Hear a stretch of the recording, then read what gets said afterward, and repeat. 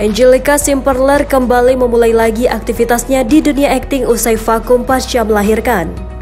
Setahun vakum, Angelica kembali akting di sinetron terbarunya yang berjudul Cinta di Dalam Perjodohan.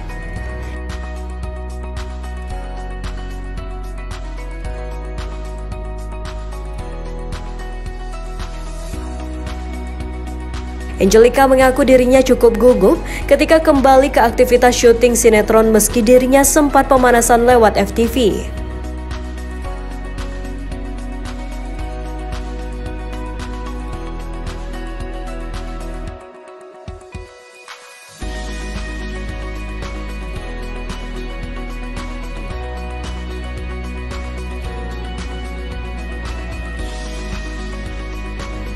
Dalam sinetron yang tayang di stasiun televisi Antv itu, Angelica berperan sebagai Naila yang akan dipasangkan dengan Brian Andrew sebagai Gio.